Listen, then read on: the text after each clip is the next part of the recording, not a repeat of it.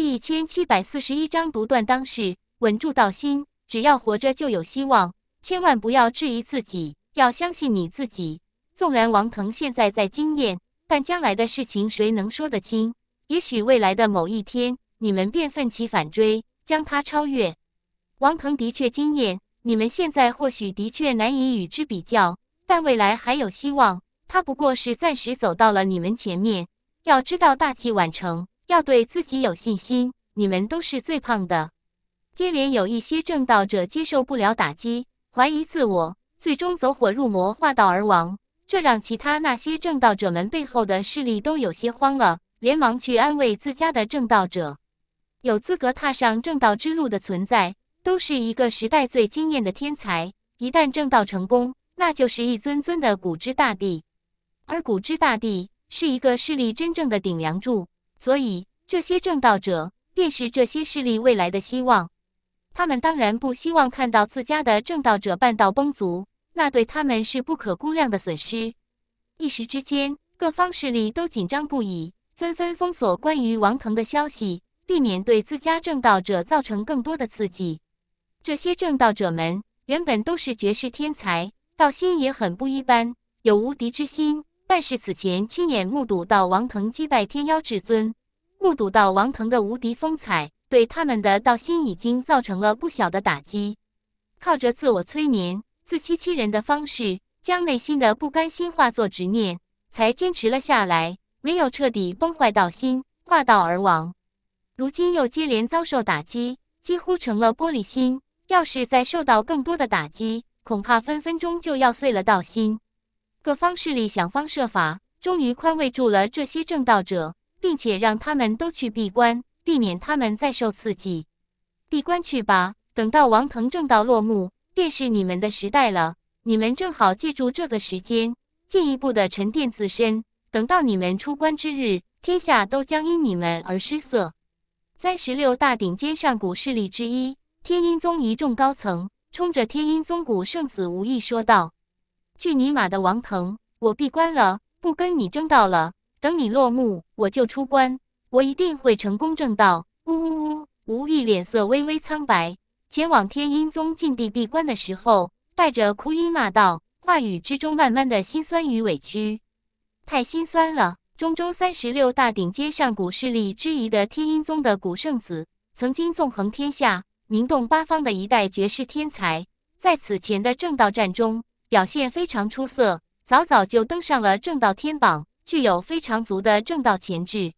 结果现在满腹心酸与绝望，为了不再遭受刺激，避免心态彻底炸裂，只能委屈巴巴的雪藏自己，逃避现实。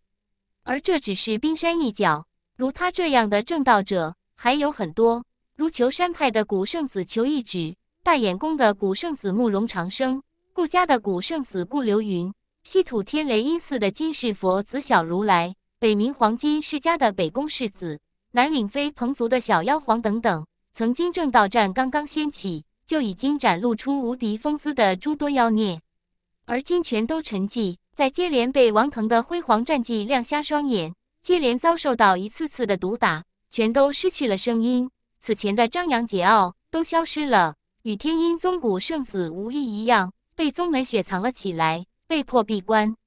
当这件事情传递出来，引发了整个神荒大陆五大域的轰动。王腾正道、举世正道者尽都退避，一个人背对众生，独断当世，天下同道，无有争锋者。这将王腾的名声再度推上了一个新的高度。哪怕是曾经与王腾有过间隙的各方势力、各方修士，也忍不住唏嘘，予以极高的评价。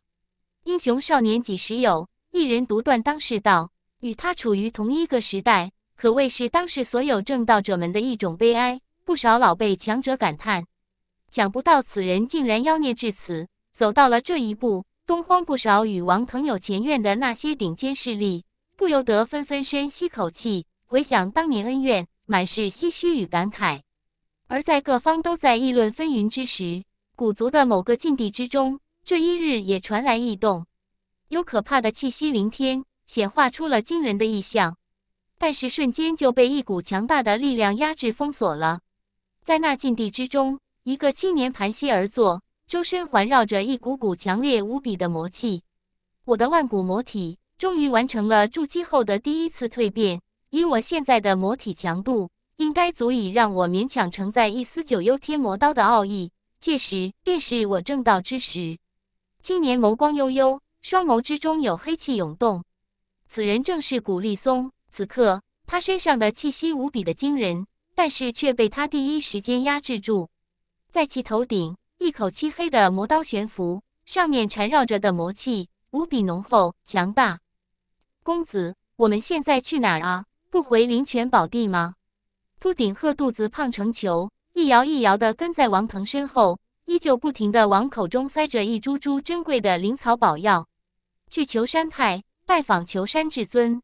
王腾平静的道：“中州有三十六大顶尖上古势力。”但却并非全都有地道至尊坐镇，除了之前被影子道士镇杀的古族至尊明阳至尊、天音宗的天音至尊、琼楼阁的御空至尊以及长生门的长生至尊外，如今这三十六大上古势力中，一共还有九个上古势力有地道至尊坐镇，求山派就是其一。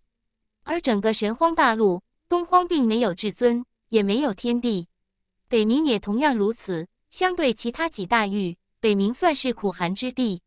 清末佛道昌盛，昔年朱棣时代却是出国三尊佛道至尊，甚至还出国一尊天地境界的强者。不过与中州比起来，西末确实逊色良多。所以王腾打算将中州当做自己的正道主场，若自己能力压中州的九大至尊，届时再去西末走上一遭不迟。而求山派。便是如今拥有地道至尊坐镇的顶尖上古势力之一。听到王腾的话，秃顶鹤顿时两眼一亮，道：“我们要去收取求山派的宝库吗？是去拜访求山至尊，与求山至尊论道切磋？你别给我搞幺蛾子！要是再敢给我搞个剑士出来，别怪我一根毛都不给你留！”听到秃顶鹤的话，王腾顿时脚步一顿，脸色发黑，冲着秃顶鹤严厉警告道。秃顶鹤闻言，顿时一缩脑袋，身上不多的羽毛一下子颤动起来。旁边南宫寻闻言，顿时随后眨了眨眼睛，楚楚可怜的道：“公子，奴家就这么惹你生厌吗？纵然你皮囊再美，在我眼里也不过一具骷髅。你最好不要对我抱有任何的非分之想，我是你永远得不到的男人。”王腾扫了他一眼，一脸淡定的告诫道，心中却在默念清心咒。同时不断的催眠自己，女人只会影响自己出剑的速度，是修道的拦路虎。书评区公告发了个关于女主的投票的帖子，希望大家积极参与一下呀！点开书评区公告就能看到了。第一千七百四十二章敲闷棍。当王腾回到中州后，中州各方势力的目光便都落到了王腾身上，都在留意着王腾的动向。在王腾一行人前往求山派的时候。求山派也已经收到了消息，什么？王腾正朝着我们求山派赶来，快去转移宝库！求山派的掌教得知王腾正赶赴求山派而来，第一反应却是转移宝库，因为到现在，此前南陵所发生的事情已经不算是秘密了。据他的了解，凡是王腾拜访过的势力，宝库都不安稳，飞鹏族的宝库更是接连丢失了两次，其身边那只山鸡。实在是盗取宝库的一把手，不能不防。求山掌教第一时间来到求山派的宝库前，然后将宝库藏入自己的储物法宝之中，拍了拍储物法宝，这才长舒了口气，放下心来。现在可以安心了。求山掌教一脸欣慰的笑容。就在他收起宝库后不久，王腾便降临在了求山派的洞天福地前。有求山派的长老前来通报，掌教。王腾来了，求山掌教神情淡定，来便来了，这么慌慌张张做什么？崔本座前去迎接，宝库在身，求山掌教便不是很担心王腾来访了，带着一众长老亲自出门迎接。道友远道而来，有失远迎，恕罪恕罪。求山掌教笑呵呵的迎了上来，冲着王腾拱拱手道：“掌教客气了，在下此番来由，想必贵派早已知晓。”敢问求山至尊是否方便与在下切磋一二？见对方态度客气，王腾也客气的道：“道有玉正无敌道：“如今这天下，只怕无人不知，无人不晓。”求山派掌教笑道：“就在这个时候，虚空中忽然有涟漪荡漾，一道模糊的身形从虚空中缓缓浮现出来，身上的气息内敛，但是依旧给人一种极其惊人的压迫感。你就是王腾。”求山至尊现身，目光落在王腾身上，上下打量，不由得目光微微一凝。他从王腾身上感受到了一股极其惊人的气势，那是无敌气势。在他战胜天妖至尊、黑龙至尊以及飞鹏至尊后，他身上的无敌气势便越来越盛，积累的非常迅速。晚辈见过求山前辈，从对方身上那股来自灵魂深处的压迫感，王腾立即就明白，眼前之人应该便是求山派的地道至尊求山至尊了。只有地道至尊。才会有如此强大的威势压迫。哼，废话就不必多说了。本座知道你的来意，想要以至尊铺路，正道无敌，没那么容易。我身为一代至尊，需要捍卫至尊的威严，为至尊证明，所以我不会手下留情。求山至尊冷哼道，态度算不上客气与和善，但是也没有特别的敌意与杀机，大概是性情如此。王腾见状，也不再多言。他知道自己以地道至尊铺路，正道无敌，这让一些至尊不满，让对方感觉到是一种挑衅。毕竟地道至尊身份非凡，都是屹立在金字塔顶端的超然存在，凌驾在众生之上，俯瞰天下，没有人敢挑衅他们的威严。但王腾却以至尊铺路，正道无敌，这在一些人看来是对至尊的羞辱与挑衅，是在践踏至尊的威严。跟我来吧！求山至尊看了王腾一眼，身形一闪，化作一道天虹，凌霄而上，冲上九天。你们就在这里等我。王腾吩咐秃顶鹤与南宫寻，随后同样身形一闪，化作一道寂灭天雷，一冲苍穹，追上求山至尊。轰！下一刻，两人没有任何多余的废话，直接爆发了大战。两股强大无比的威势爆发，引发惊人的景象。九天之上，无边的云层都被震溃，两道光影闪烁，刹那之间碰撞千百次，每一次交手碰撞都震得天穹炸裂，有可怕的声响传出，撼天动地。下方众人只看到那九天之上，漫天都是两人的身影，他们的速度太快了，残影完全跟不上他们真身的行动。然而，下方求山派的掌教。却是并未第一时间去关注上空九天之上的战斗，而是盯着秃顶鹤。就是这只山鸡，曾在南岭盗走了天妖山的宝库，并且还曾两次盗取飞鹏族的宝库。诸位长老，别顾着观战，多给本掌教盯着他一些。球山派掌教有些警惕地盯着秃顶鹤，冲着身边一干长老传音道：“诸位长老闻言顿时无语。掌教，宝库你不是都已经带在身上了吗？”还有什么好担心？就一头山鸡而已，至于这样警惕吗？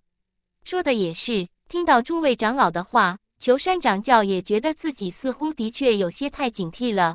如今宝库藏在自己储物法宝之中，还有什么好担心的？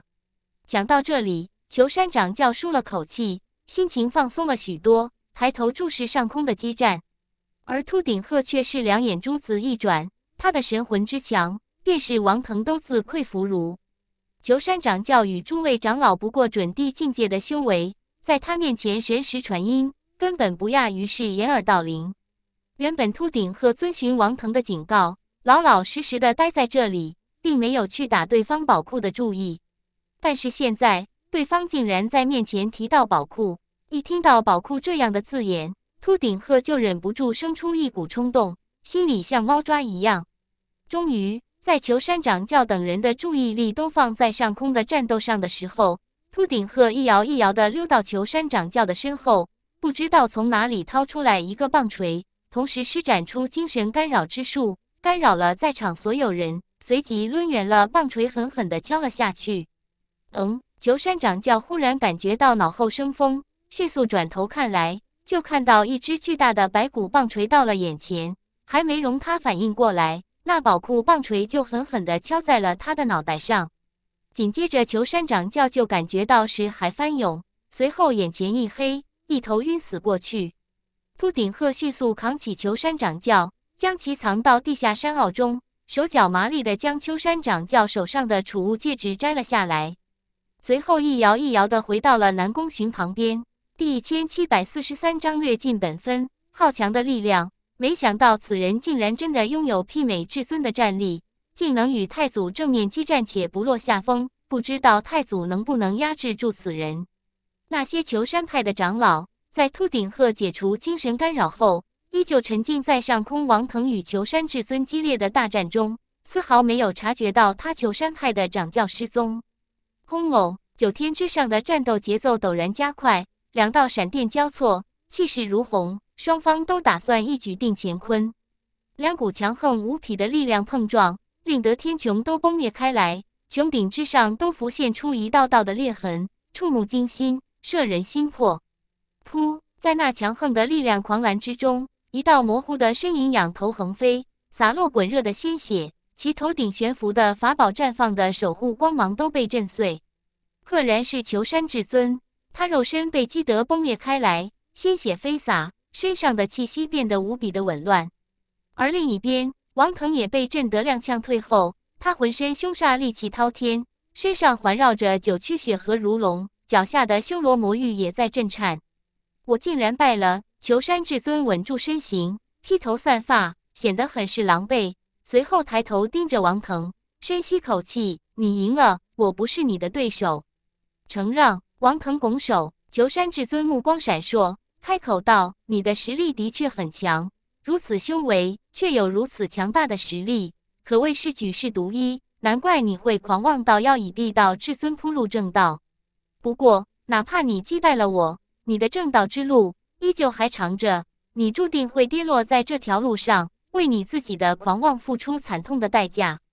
以你目前的实力，根本不可能是那几个人的对手，你注定会失败。”求山至尊语气冷冽，开口说道：“王腾不以为意，淡淡一笑，道：‘我知道你说的那几个人是谁，我早已做好与他们一战的准备，成与败不是你说了算。’哼，那就拭目以待吧。”求山至尊冷哼一声，体内法力喷涌，恢复了伤势，朝着下方求山派击射下去。王腾神色如常，他道心坚定，拥有无敌的信念。不可能因为对方的三言两语而动摇。同时，虽然求山至尊语气不太好，但王腾也并未对其下狠手。对方虽然态度冷冰冰，但是从始至终，倒也并未对他显露过杀意。他身形一闪，眨眼之间便出现在半空中，目光扫了一眼秃顶鹤，见秃顶鹤依旧老实巴交的待在原地，心中总算宽慰了一些。这家伙总算老实了一回。公子，你没事吧？看着你与求山派的至尊激战，可担心死奴家了。南宫寻立即笑吟吟的迎了上来，千娇百媚，声音甜软如酥，红唇诱人。王腾皱了皱眉，收起你那一套，就算你再如何魅惑我，我也不会心动。随后他不再理会南宫寻，冲着求山派众人拱了拱手，扫了一眼秃顶鹤，我们走。南宫寻懊恼的跺了跺脚。连忙跟上，求山至尊遥望着王腾离开的背影，目光闪烁，随后深吸口气。虽然不愿意承认，但此人当真妖孽无双。诸位长老心中同样震撼不已，他们都亲眼见到方才求山至尊与王腾交手，被王腾击得横飞，肉身崩裂，败在王腾手中。此人若真能正道成功，未来的成就恐怕将无可限量。有长老忍不住感叹道：“嗯，对了，掌教去哪儿了？”众人感叹了一阵，随后突然有人意识到，好像少了个人。下方山坳中，求山掌教狼狈地趴在地上，昏昏转醒，只觉得头痛欲裂，条件反射地摸了一下额头，入手一个大包，犹如狰狞大脚。触摸的刹那，求山掌教顿时倒吸一口凉气，一张脸憋得通红。最后，终于忍不住发出一声凄厉的痛呼声，立即惊动了半空中的求山至尊与诸位长老。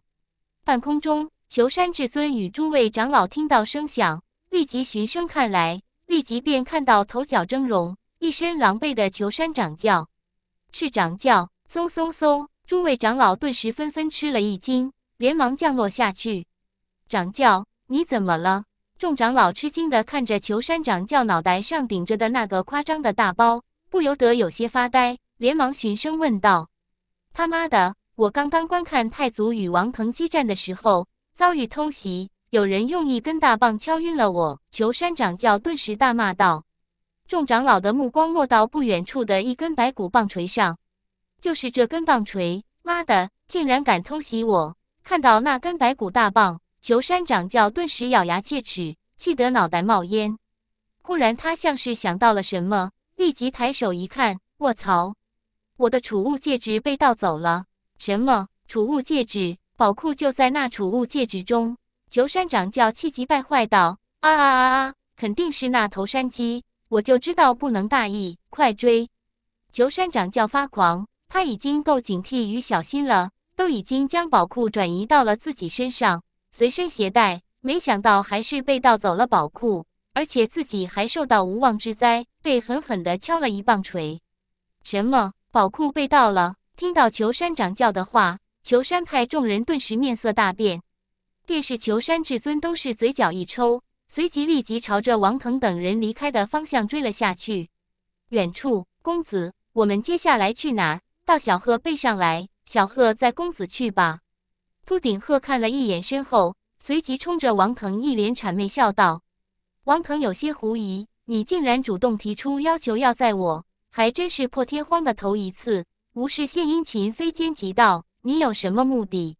秃顶鹤有些心虚，眨巴着一双大眼睛，楚楚可怜的道：“公子力压至尊，气魄无双。小鹤身为公子的坐骑与灵宠，与有容焉。”只是想要尽一尽身为公子坐骑灵宠的本分而已，哪有什么目的？王腾依旧狐疑，盯着秃顶鹤。真的，当然是真的。公子难道不相信小鹤吗？秃顶鹤一副心伤的样子道，又看了一眼身后方向。秃顶鹤突然打了个哆嗦，连忙放大了身形，趴在王腾面前催促道：“公子快上来吧！小鹤已经迫不及待想要尽一尽身为公子坐骑的本分了。”第一千七百四十四章羡慕不来。见秃顶鹤一副急切的样子，王腾顿时眉头一挑，直觉告诉他，这家伙多半又惹事了。小鹤，你老实交代，是不是又惹什么麻烦了？秃顶鹤立即将头摇得跟拨浪鼓似的，否认道：“怎么可能？小鹤能惹什么麻烦？没有的事。公子千万别多想，还是先上来吧。”然而他话音刚落。后方忽然传来几声大斥，那只山鸡还我宝库。同时，有一道道强大的气息飞快逼近，盛气凌人。王腾回头看去，便见求山至尊与求山派的掌教，还有诸多长老纷纷追了下来。听到他们的大斥，王腾顿时嘴角一抽，回头看向秃顶鹤公子。小鹤先回灵泉宝地闭关了。秃顶鹤立即大叫一声，就要遁走。王腾脸色一黑，一巴掌将其镇压在虚空。你到了求山派的宝库，公子冤枉啊！小鹤什么都没干。秃顶鹤立即否认。哼，若真什么都没做，你跑什么？王腾面色一沉，冷哼道：“我我想叶牵中他们了，想赶回去看看他们。”秃顶鹤弱弱的道：“刷刷刷！”就在这个时候，几道神虹相继降临。为首的求山至尊沉着脸道：“王腾，你竟然让人趁着你我交手的时候敲晕我派掌教，夺取我派宝库，未免欺人太甚！该死的山鸡，你竟然敢偷袭我，盗取我族宝库！快将宝库还来！”求山派掌教也走了上来，怒气冲冲，额头上顶着一个大包，如独角大王。看着求山派掌教脑门上那个夸张的大包。王腾顿时嘴角一抽，冷厉的目光看向秃顶鹤，这家伙下手还真够狠的。他深吸口气，冲着求山至尊等人道：“诸位勿恼，在下会给诸位一个交代，还不快将东西拿出来！”随后，他冷冷地看向秃顶鹤，自己这一世英名都要全部毁在这家伙身上了。秃顶鹤抵死不认，一脸委屈巴巴的道：“公子，小鹤真没拿求山派的宝库啊！”你不相信小鹤吗？胡说！分明就是你敲晕了我，从我身上盗走了宝库，你竟然还不承认！裘山掌教顿时气得额头冒烟，指着秃顶鹤骂道。王腾也黑着一张脸，一把拎起秃顶鹤道：“我看你身上的羽毛还是太多了。”哇呀，公子别拔毛，小鹤认栽了。见王腾一言不合就要拔毛，秃顶鹤立即认怂，连忙张口将储物戒指吐了出来。因为储物戒指比较小，加上担心藏在羽毛中不保险，所以这次秃顶鹤将戒指藏在口中。没想到王腾这次却不按常理出牌。一上来就要扒光他的羽毛，让他不得不主动交出储物戒指。然而王腾这次并未那么轻易放过他，狠狠拔下几根羽毛。啊，公子，我都已经交出宝库了，你还拔我羽毛？秃顶鹤发狂，扑上来要跟王腾拼命，结果被王腾一巴掌镇压。再敢死性不改，我便真将你炖掉！王腾趁着脸道：“三番两次如此。”哪怕明知道秃顶鹤的脾性，王腾也有些恼怒。看出王腾动怒，秃顶鹤立即缩回脖子，不敢再放肆。旁边南宫寻却是睁大了美目，一脸不可思议地盯着秃顶鹤。这只山鸡什么时候盗走的求山派的宝库？而且还敲晕了求山派掌教。他先前一直与其在一起，竟然都没有察觉。看看什么看？没见过这么美的屁股吗？见南宫寻盯着自己，秃顶鹤光着屁股，凶巴巴的道，随后昂着头颅，摇着秃掉羽毛的尾巴，走到一边，一脸得意的道：“这是公子特意为我设计的造型，你羡慕不来？”哼！南宫寻顿时瞪大了眼睛，感到脑海中一阵凌乱。便是王腾也不由得嘴角一抽，恨不得一巴掌将这死鸟拍死，实在丢人。他深吸口气，压下心中的冲动。将求山派掌教的储物戒指还了回去，拱手致歉道：“在下管教无妨，这是贵派的东西，物归原主。另外，在下这里还有一些薄礼，全当赔罪，还请诸位见谅。”见王腾归还了宝库，求山派众人脸色缓和许多，倒也并未在这件事情上多做纠缠。等到求山派众人退去，王腾顿时深吸口气，盯着秃顶鹤。冷冷的道：“这是最后一次。”秃顶鹤一脸委屈道：“公子，这次不能怪我啊！我原本都没打求山派宝库的主意，谁让求山派的那几个老家伙故意在我面前讨论宝库的事情？我一听到宝库就控制不住我自己。”王腾深吸口气，不想再跟他废话，让他重新变大身形去大眼宫。见王腾不再追究此事，秃顶鹤立即长舒口气。载着王腾与南宫寻振翅疾飞，朝着大眼宫飞去。公子刚刚激战求山至尊，一定累了吧？奴家给公子捏捏肩。南宫寻甜声说道，无时不刻不寻找着机会靠近王腾。别打扰我，我要体悟方才的战斗。王腾果断拒绝，温柔乡，英雄种，丝毫不给南宫寻机会盘膝修炼。南宫寻顿时气闷不已，愤愤道：“真是烂木头！”臭木头，我就不信你能一直不动心。王腾置若罔闻，认真体悟方才的战斗，战胜求山至尊。王腾身上的气势明显更强盛了一些，这股气势强烈的惊人，若是一般的准帝后期，根本无法承受住这股气势的压迫。哪怕是王腾极力收敛与压制，不过南宫寻身为先天道体，先天亲和大道，四方天地规则秩序，大道纹理。自动形成一种守护，为他抵消了这一缕泄露出来的压力。随着王腾盘膝修炼，这股增长的气势渐渐与他彻底融汇在一起，完美收敛了起来。而在王腾乘着秃顶鹤朝着下一个目标大眼宫飞驰而去的时候，求山至尊败落在王腾手中的消息也迅速传开了。从王腾回到中州开始，各方势力便一直关注着王腾的动向。王腾与求山至尊的战斗也被各方瞩目，早就注意到了。这再次引得不少人倒吸一口凉气。从王腾出关走出灵泉宝地，不过短短数日而已，到现在已经接连击败四尊地道至尊，身上积累的气势越来越盛，这让不少人惊心。难道他真能横推至尊，正道无敌？大家的建议，韩王看到了，接下来开始加快节奏。莫方。凡界篇快结束了，第一千七百四十五章神仙打架大眼功。王腾已经接连击败了天妖、黑龙、飞鹏以及求山四位至尊，如今朝着我们大眼宫而来，看来此番是要挑战我大眼宫的至尊了。大眼宫中，一众高层纷纷深吸口气，神情有些凝重，同时感到唏嘘不已。本座就想知道，此人前来挑战，他身边那只山鸡是否也跟了来？大眼公主开口说道。大殿中诸多长老闻言，都纷纷神情一怔，随即纷纷脸皮抖动。此前南岭三大上古势力发生的事情，还有此番求山派发生的事情，他们也都已经了解到了。尤其是此番求山派掌教被秃顶鹤一狼锤敲晕过去，夺走宝库，这更是引起了大眼公主对这只山鸡的高度重视。宝库放在禁地不安全，放在身上更不安全。你们用不着担心，只要不让王腾与那只山鸡靠近我大眼宫便是。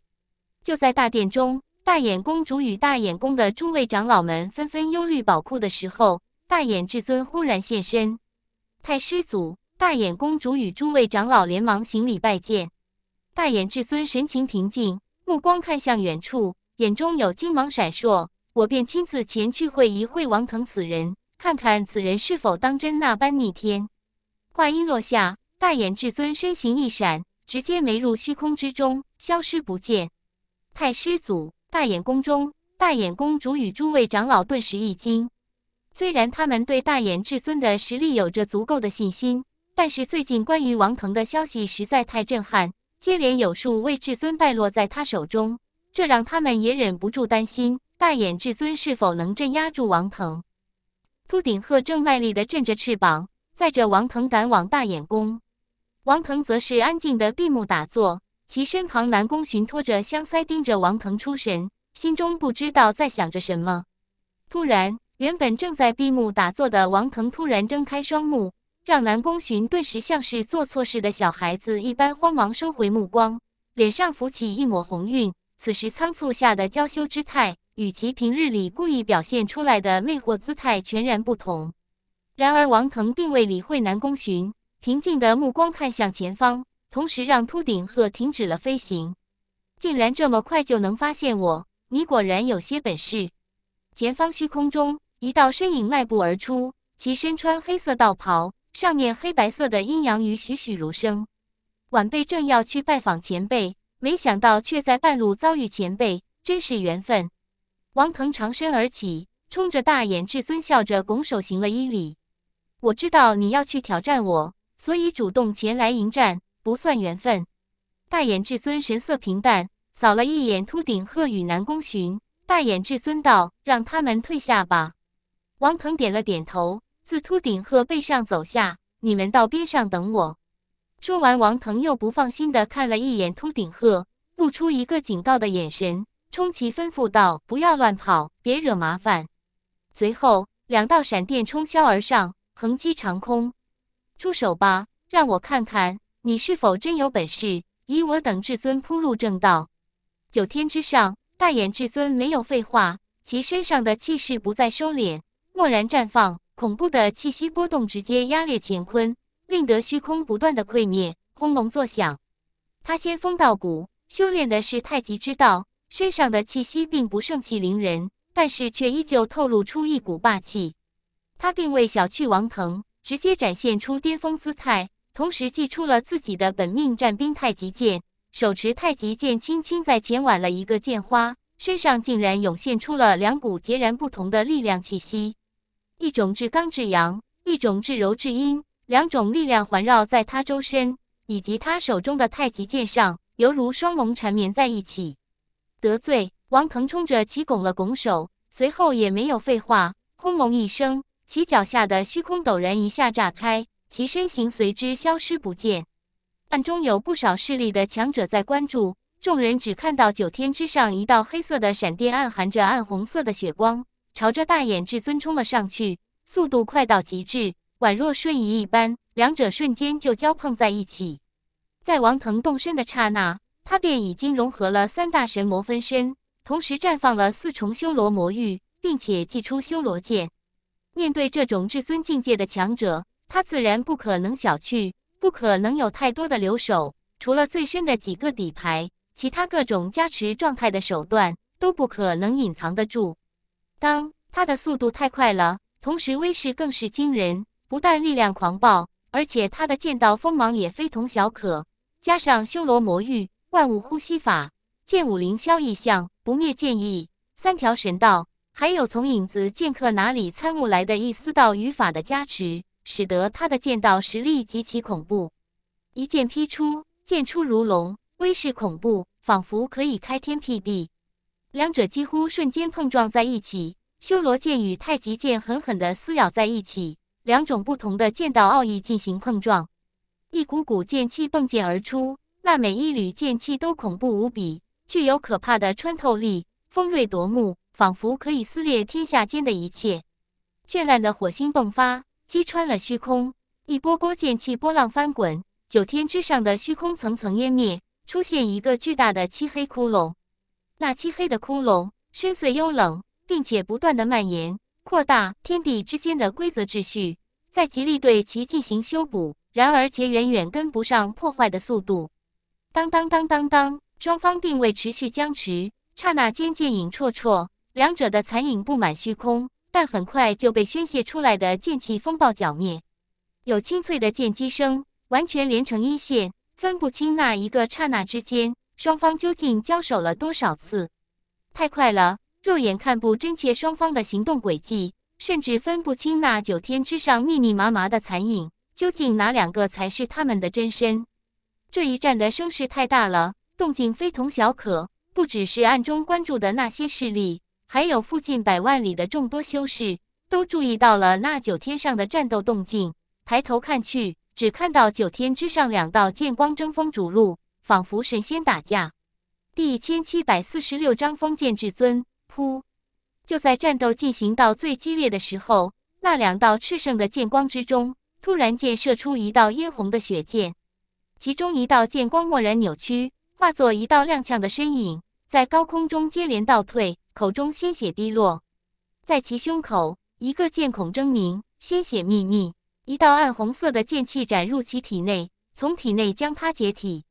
噗噗噗！其晶莹的肉身突然不断的撕裂开来，从体内激射出一道道可怕的剑气锋芒。他面色大变，立即主动崩溃肉身，只留下元神遁离而出。因为不这样做，那杀入体内的剑气会一路向上追杀他的元神。承让。另一边，王腾指剑而立，没有再继续出手。冲着其拱手，那崩灭肉身的大眼至尊的元神面色变幻，随后肉身重塑，其深吸口气，收起了太极剑，也收敛了身上的可怕威势，眼神复杂的盯着王腾，开口道：“我败了，多谢手下留情。”王腾微微一笑，道：“我们之间并无生死仇怨，阁下愿意与我切磋论道，助我正道，晚辈不胜感激。”大眼至尊闻言一怔。显然没想到，如王腾这样的逆天奇才，在此番跨越如此大的境界战胜他后，还能如此谦逊相待，没有丝毫的膨胀自负之心，这让他心中略生好感，开口道：“此前外界对你多是一些不好的传闻，不曾想你却如此谦逊。我此前对你倒是也有些误解了。小友方才所施展的剑道神通，不知道是什么神通。我的太极剑道虽未大成。”但也非同小可，却也挡不住小友的剑道锋芒。小友若是不嫌弃，不如到我大眼宫做客，交流一番剑道心得。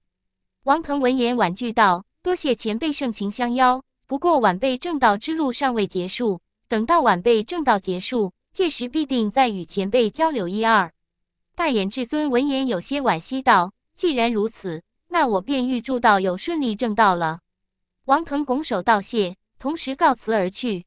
既然已经击败了大眼至尊，他自然没有必要再去大眼宫。招呼秃顶鹤朝着另一个方向赶去。大眼至尊没有立刻离开，他静立虚空，看着王腾离开的方向，不由得目光闪烁。最后深吸口气，感叹道：“江山代有才人出，各领风骚数百年啊！”他原本对于王腾击败天妖至尊等几位至尊还有些不以为意。此刻亲自与之交手，并且败在其手中，方才真正感受到了这个后起小辈的恐怖。方才若非王腾手下留情，恐怕他今日难逃陨落。他现在去的方向乃是半月楼的方向，这是打算去挑战半月至尊了吗？大眼至尊低声喃喃，随即摇了摇头。对方如此马不停蹄，从南岭归来后，先是去挑战了求山至尊，接着便又赶往大眼宫与他一战。此刻战斗刚刚结束，便又前往半月楼，这在他看来未免有些太急躁了。正道多艰，绝不能踏错一步，绝不能经历失败。不然就是万劫不复的境地。王腾如此急躁，马不停蹄的连续挑战各方至尊，难道就不用稍作休息，调整状态吗？其不过准地巅峰的修为而已，哪怕底蕴雄厚，能越级击败至尊，但是消耗上面也必定不小。他难道不用花费时间来恢复法力吗？还是急了一些啊？大眼至尊摇了摇头，觉得王腾太急躁与大意。此番前往半月楼挑战半月至尊，恐怕不会那么顺利。只是他却不知道，修炼了万物呼吸法的王腾，根本不需要担心消耗问题。暗中那些关注着王腾与大眼至尊大战的势力，还有附近那些各方修士，见到大眼至尊败北，已经感到有些麻木了，远远没有了最开始的那样震惊。但就算如此，这依旧让不少人都倒吸一口凉气。又一位至尊败落在其手中，其在正道之路上已经越行越远。便是各方其他的地道至尊，此刻也都不那么淡定了，对此愈发的重视了起来。已经连败五位至尊了吗？嘿，还真是有趣。想不到这一世竟然出了这样一个小家伙。御剑门，一个邋遢老叟背负一口袖剑，蓬头垢面，手上抓着一个脏兮兮的酒葫芦，仰头倒灌一口。其犀利的目光盯着王腾与大眼至尊激战的地方，随后咧嘴一笑，开口说道。说着，他瞥了一眼旁边那个八转巅峰大帝，不由得骂骂咧咧道：“妈的，看看人家才准地巅峰就能挑战至尊了，你说你都修炼这么多年了，都已经八转巅峰大帝的修为了，还打不过我？你说你有什么用？真是白教你这么多年了。”在场御剑门的门主。还有一些长老都不由得一阵汗颜，纷纷低着头，眼观鼻，鼻观心。那个遭受无妄之灾，莫名其妙就被训斥的八转巅峰大帝紫印大帝一脸委屈，嘟囔道：“师尊，这不能怨我啊！大帝八转到九转至尊，本就是一个分水岭，况且师尊的实力都已经媲美天地了，弟子怎么打得过天地？你还敢犟嘴？你个没用的东西，拔剑吧！”老头子，今天不抽死你算我输！听到紫印大帝的嘀咕，邋遢老叟顿时吹胡子瞪眼，伸手就去抓背上的袖剑。紫印大帝顿时脸都绿了，立即脚底抹油，转身就溜。还敢跑？我打不死你！邋遢老叟气呼呼的道，就要追上去，却被叶伟拖住。师尊别生气，不是师兄不争气，实在是师尊你太惊艳了呀！若是换个至尊，师兄未必没有越级战胜的可能。叶伟的这个马屁明显拍到了邋遢老叟心坎上，道：“哼，这次就放他一马。小子，你什么时候正道啊？外面那小子以至尊铺路，你要不要也来一手至尊铺路，正道无敌？来来来，师尊陪你过两招。”邋遢老叟将目光落到叶伟身上，叶伟的神情也顿时僵住了，随后脸色发绿，连忙道：“师尊。”弟子感觉自己的底蕴还不够深厚，还要再多沉淀一番。弟子先下去闭关了。说完，他也溜得飞快，以至尊铺路，正道无敌。他暗暗腹诽：没见过这么坑徒弟的，这不是唆使徒弟去找死吗？第一千七百四十七章差评差评。见叶伟也溜走，邋遢老叟百无聊赖，使劲揉了揉一头油腻的头发，好无聊，好想打架。他看向下面那些长老以及御剑门主，御剑门主与那些长老顿时纷纷眼皮一跳，头皮发麻，连忙后退，开口说道：“太师祖，我们可不够你折腾的啊！”邋遢老叟抓了抓头，来回走动。你们说那个王腾什么时候来挑战我？不行，我要去找他。邋遢老叟突然开口说道，随后便要走出御剑门去寻王腾，但刚刚迈出一只脚。便又迈了回来，不行不行！我身为前辈，主动跑去找他一个小辈切磋，太跌份了！啊啊啊啊！好烦好烦！不对，我只是过去近距离看看他，不出手应该不算跌份吧？纠结半晌，邋遢老叟突然骂骂咧咧道：“妈的，跌份就跌份，我忍不了了！”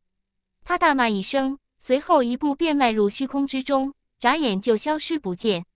身后遇见门主与一众长老都惊心不已，太师祖竟然亲自去寻王腾，那王腾的正道之路不会就此终结了吧？众人纷纷惊呼道：“他们这位太师祖不是别人，正是御剑门那位无上剑主封建至尊。曾挑战过天地境界的强者，最终却活了下来。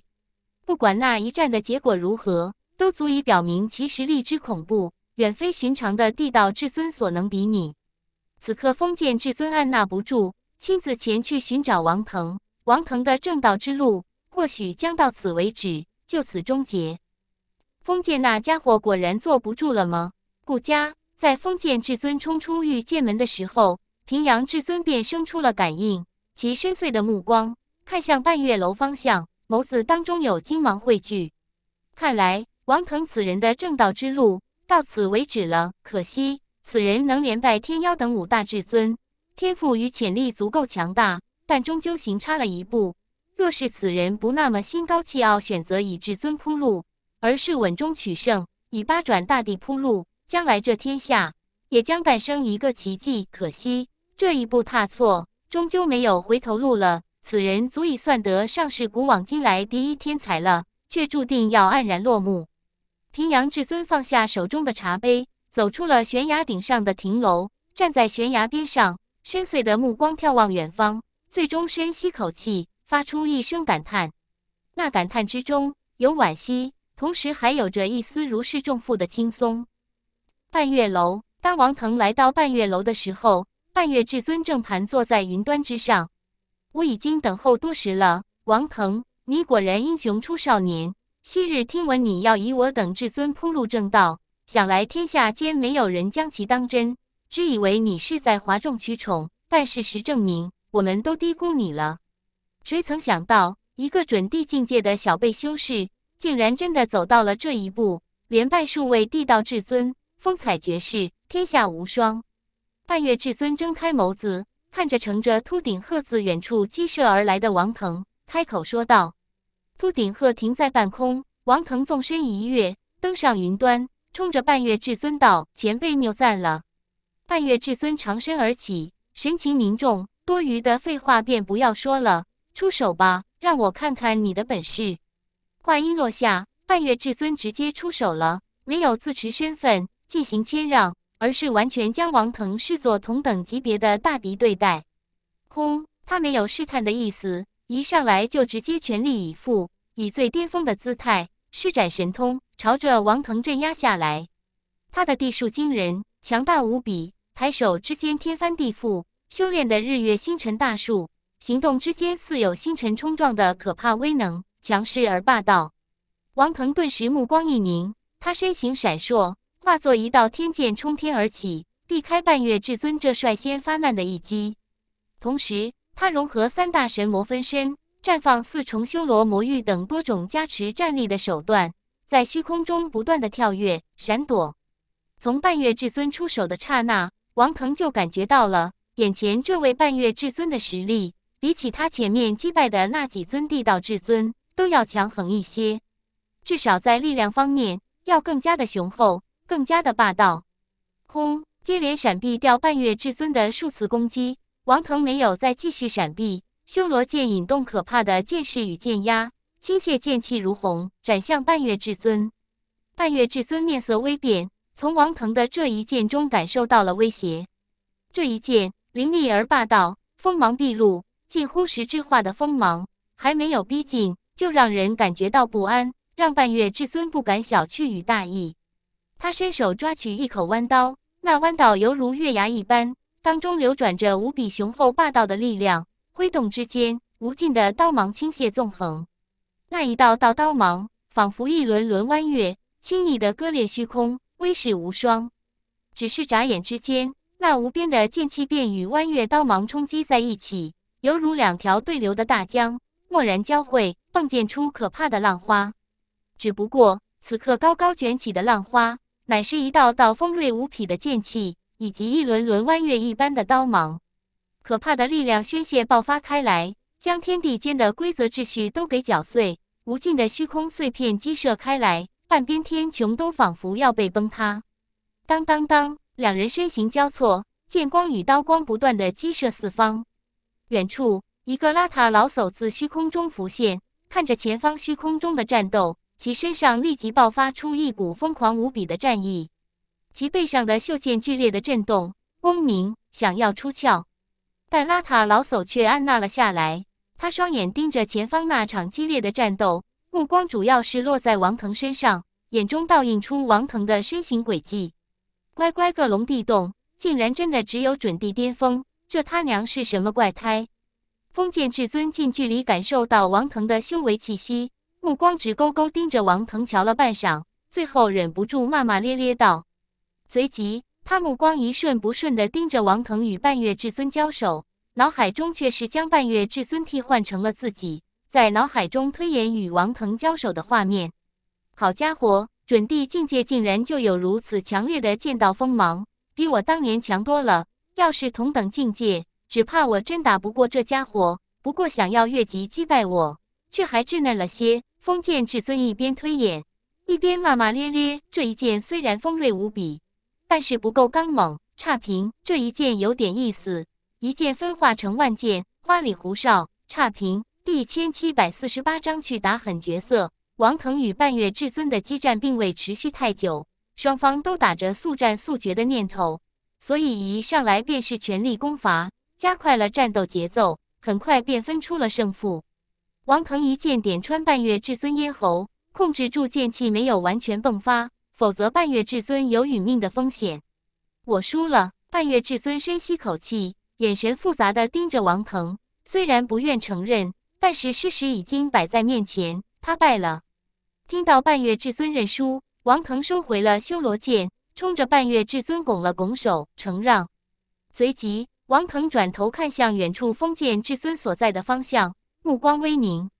方才战斗的时候。他便感觉到了另一道强大的气息赶来，而且来人是一名剑道修为极其强大存在，令他使海之中的剑魂都震动了起来，体内的剑气更是想要激荡而出，与之争锋。这就结束了，无趣。远处，封建至尊的推演也结束，眼前画面中，王腾的身形被一道流光似的剑光击碎，化作虚无。封建至尊眼前的视线清晰起来。感受到王腾的目光注视，抬头看向王腾，脸上露出一副嬉笑，道：“小子，你的实力的确还算不错。不过若你仅止于此，那么你的正道之路恐怕注定要以失败告终。老头子方才已经推演过与你交手的情况，若是按照你方才与半月这小子交手所展现出来的实力来看，你远远不是本座对手。本座在御剑门等你来挑战。”希望到时候你能给老头子一点惊喜，至少稍微让老头子尽点心。说完，封建至尊化作一道剑光，瞬间消失不见，直接走了。目睹了王腾与半月至尊交手，感受到了王腾所展现出来的实力，并且还在心中默默推演了一番他与王腾交手的情况，结果乃是以王腾的惨败结束。在他所推演的画面中，他还没有用出全力。便已经数次击溃王腾，这像是一盆凉水，浇灭了他那澎湃而炽热的战意，让他有些意兴阑珊，兴趣索然。他好战，好与强者战，但从方才王腾与半月之战交手的情况，以及他推演的画面来看，王腾在他眼中显然算不上是强者。是御剑门的那个家伙。等到封建至尊离去，半月至尊才忍不住惊呼出声，神情凝重。在对方说出在御剑门等他前去挑战的时候，王腾也已经明白了对方的身份，神情同样不由得一凝。他就是传闻中那个好战狂人，曾经挑战过天地境界强者的封建至尊吗？果然好强，哪怕是相隔这么远，身上的那一股剑意、剑气以及剑道锋芒，都令人感到压抑，甚至窒息。王腾目光闪烁，这是他第一次见到封建至尊。双方之间相隔一定距离遥望，都让他感觉到了一股压力，感觉到了一股强烈的危机感。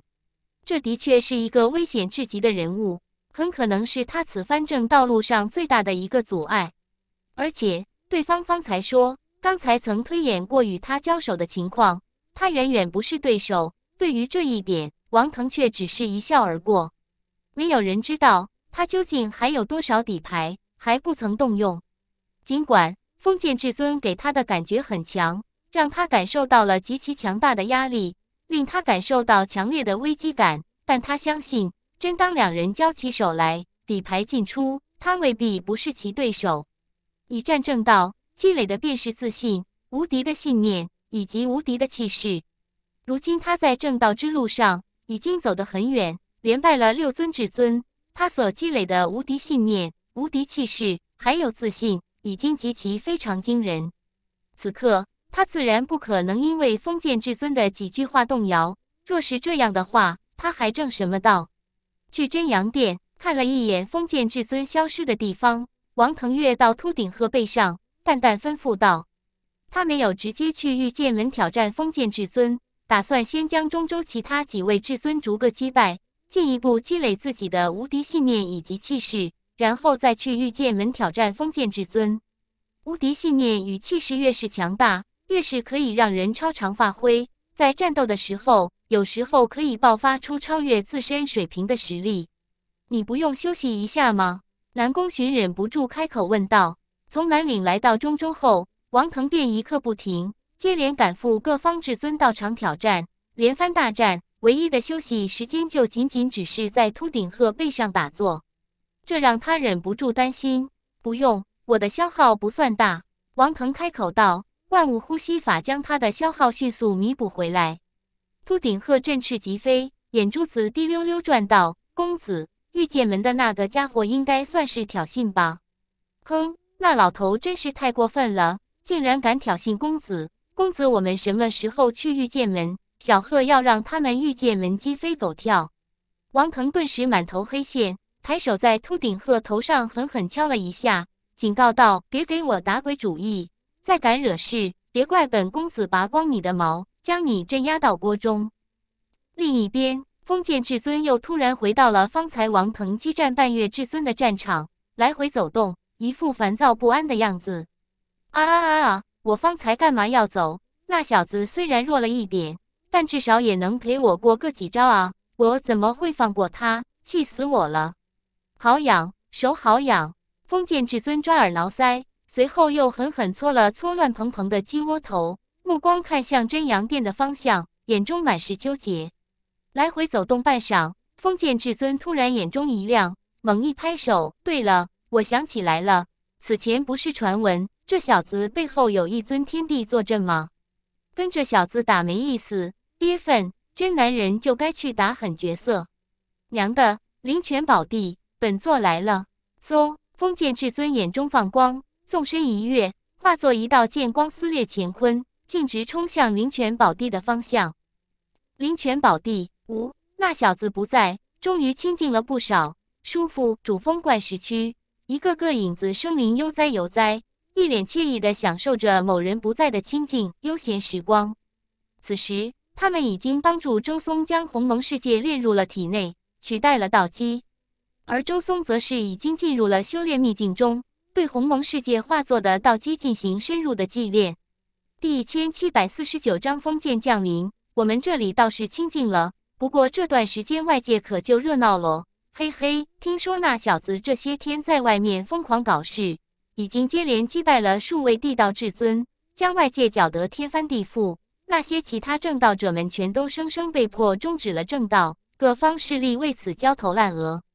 我也没想到这小子竟然这么逆天与大胆，竟然敢以至尊铺路正道，太妖孽了！不愧是老大选中的人，这天赋与潜力，小老头是服了。就是这小子脸皮着实厚了一些，太能惹事折腾了一些。话说，你们觉得他能成功吗？几个影子生灵巴拉巴拉道：“我说你们几个老东西是不是有病？还不容易那小子没在，我们落得几天清静。”你们还老是提那小子，咱能不提那个无耻之徒吗？哎呀，牛鼻子，你膨胀了！那小子是老大看上的弟子，你说他是无耻之徒，将老大置于何处？老大，我建议教训这牛鼻子一顿。一众影子生灵顿时纷纷吵闹了起来。良久，一个影子生灵忍不住叹道：“我说，虽然那小子无耻了一点，烦人了一点，不过有时候还是挺可爱的。你们说，他这次正道应该能成功吧？你担心个鸟！那小子的脸皮厚的连老大剑恐怕都斩不破。真要是打不过那些至尊，我觉得他将脸凑上去当盾牌都能立于不败之地了。”影子道士骂骂咧咧道，随后却也跟着一叹，说起来，这么些天没这小子在旁边唠叨，突然有点怪想念的。我是不是中邪了？一个个影子声明聊着聊着，便又将话题扯到某个烦人的家伙身上。只有影子剑客至始至终神情平静，默不作声，只负手而立，如壁画中那样抬头看天。老大，你不担心那家伙吗？怎么也不说点什么？众人注意到影子剑客的沉默，开口问道：“话不是都让你们说完了，我还说什么？”影子剑客淡淡的道：“就在这个时候，灵泉宝地外，一道剑光自远处激射而来，眨眼就降落到了灵泉宝地外。喂，这里是灵泉宝地吗？听说你们灵泉宝地中有一尊天帝，那个谁可敢出来与小老二打一架？”剑光降落在灵泉宝地外。化作一个邋遢老者，其明亮的目光看向灵泉宝地内，犹如两颗星辰一般璀璨。他抓了抓脑袋，冲着灵泉宝地中开口说道：“什么人胆敢到此放肆？”楚皇等人立即冲天而起，迎了上来，冲着邋遢老者斥道：“我是来挑战的。听说此前你们灵泉宝地有人抬手间就灭杀了明阳至尊等四位至尊，外界都说灵泉宝地中有天地。”小老儿遇剑门太师祖，人称封建至尊，特来挑战灵泉宝地中是哪位天帝？可敢出来一战？封建至尊大大咧咧道：“提到天帝的时候，言语神态很是随意，并没有敬畏之色。”什么？你是封建至尊？听到封建至尊的话，灵泉宝地中，楚皇等人顿时纷纷吃了一惊，面色大变。封建至尊名动天下。乃是昔年朱棣时代的传奇人物，天赋异禀，资质极高，曾与天地激战而不死。他的传说被书写在古籍中，流传于当世。他们早就听说过封建至尊是个剑痴，而且极其好战，所以当初影子道士强势镇杀名扬至尊等人后，多半会引来封建至尊的挑战。但此刻对方真的来了，依旧让他们难以淡定。不错。小老头就是封建至尊，废话少说，赶紧让你们家天帝出来，让我跟他大战个三百回合，好叫我过过瘾。封建至尊大刺刺的道。楚皇等人顿时为难，他们不是封建至尊的对手，不可能赶走封建至尊，但影子道士等人也不是他们能驱使的。灵泉宝地深处，一众影子生灵听到封建至尊的挑战，也都诧异不已。区区至尊也敢来挑战我，不知死活！正好上次还没活动开筋骨呢。影子道士淡淡的道。说完，影子道士直接身形一晃，就冲出了灵泉宝地，淡淡灭了一眼封建至尊：“你要挑战我？”封建至尊的目光立即落到了影子道士身上，眼中立即绽放出炽盛的光芒，显得无比的兴奋。他竟然从对方身上感受到了压力，而且此刻认真打量。竟然完全看不穿对方的深浅，这令他激动，终于有敌了，可以痛痛快快的大战一场了。一股澎湃的战意顿时爆发出来，封建至尊双手都激动的颤抖起来，背后的袖剑发出兴奋的嗡鸣。好，好，好，哈哈哈哈！你竟然能让我感受到压力，你这么强，一定能让我尽兴。封建至尊连连大笑，只觉得手痒难耐，实在忍不住了。影子倒是有些无语，这家伙有病！杀！下一刻，封建至尊直接出手了，他并指横于胸前，背后的袖剑立即化作一道神光冲出剑鞘。那神光璀璨、锋利、强势而霸道，发出洪亮的剑啸声，朝着影子道士击射而去。那剑光太快了，只是一闪就瞬间失去了踪迹，再次出现，已经到了影子道士面前。在影子剑客赶到灵泉宝地挑战影子道士的时候，真阳殿上空也正进行着一场激战。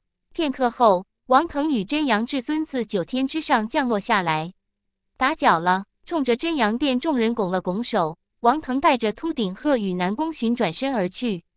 太师祖，真阳殿殿主与众长老立即纷纷迎向真阳至尊。真阳至尊抬了抬手，其脸色有些苍白，看着王腾离开的方向，深吸口气道：“后生可畏啊！太师尊，以你九转后期的修为，竟然也不是他的对手吗？”真阳殿殿主忍不住深吸口气道，看着王腾远去的身影，眼中满是骇然之色。真阳至尊摇了摇头，道：“此人的底蕴超乎想象，已经完全打破了常理。若非亲自与其交手，很难置信一个准地境界的修士会有如此雄厚的底蕴。如果不出意料，便是红尘至尊都未必能镇压住他。能够阻挡此人正道的人，应该只有封建至尊、平阳至尊二人了。”第千七百五十章来自封建的挑战。击败真阳至尊后，王腾便又朝着中州另外几位至尊的道场赶去。他打算加快正道脚步，不限在这正道路上耽搁太多的时间。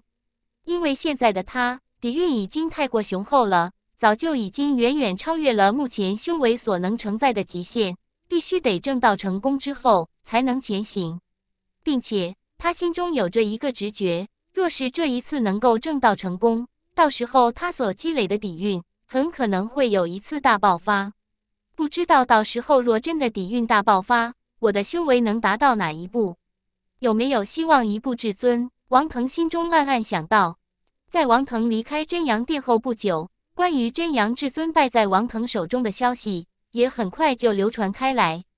不过，从他此番从灵泉宝地走出到现在，短短十天之中，已经连续有数尊地道至尊败在其手中。到了现在。各方势力对于王腾击败真阳至尊都已经几乎麻木了，并没有引发太大的轰动，或者说并没有如当初那样令人意外与震惊。但却有另一个消息引发了震动：御剑门的那位无上剑主封建至尊终于按捺不住寂寞，赶赴灵泉宝地挑战灵泉宝地中那名神秘强者去了。